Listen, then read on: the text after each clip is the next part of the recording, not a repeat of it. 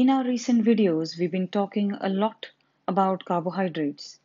So, what are good and bad carbohydrates? Refined carbohydrates are basically those carbohydrates or sugars and starches which don't exist in nature. The process of industrial refining means it takes away that brown coating. And actually, these carbohydrates are stripped of their nutrients and goodness and fibers and what is left behind is basically simple sugar. So although these refined carbohydrates are actually quite convenient option, easy to cook and digest, they can have a negative impact on someone's weight and blood sugar. So let's have a little look at what are the refined carbohydrates in our day-to-day life or in our kitchen basically. And you'll be surprised to see the list. I mean, this list is by no means exhaustive, but just look at this. Anything which is instantly cooked, like instant oatmeal or white rice, anything from white sugar or fruit syrups to all flours that we use in our rotis or parathas and things like that, especially maida, as we all know, is quite processed, highly processed, and not great for uh, your blood sugar control. Fruit juices, except lemon or lime, fizzy drinks, they particularly are quite bad for your blood sugars because they contain a lot of sugar. Corn starch, potato starch, so anything which has got starch, and even your bakery products that we probably all love to eat, like um, white bread and biscuits, cookies, and bagels, anything from muffins to cakes, and all desserts, including your ice creams and jelly.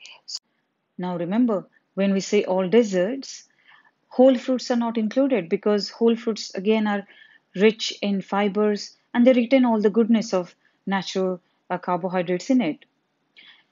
So, what are good carbohydrates in? Let's have a little look. The list is again not exhaustive here, but I've tried to list some of them which we actually can incorporate in our day to day life. Anything which has got 100% whole grain, you can be assured that they have tried to maintain the goodness of carbohydrates in it. So let's have a little look at some examples. So things like brown rice, quinoa, ragi, unhulled barley, bajra, and whole oats and buckwheat can be some good examples. Vegetables and lentils are obviously a good example of uh, good carbohydrates as well. Whole fruits and not the juices, as we discussed before. So, there is a reason why these are good carbohydrates because obviously they are complex carbohydrates and broken down in your body quite slowly. So, they make you feel full for a longer period of time. And remember, they are rich in fiber as well. So let's do some interesting calculations.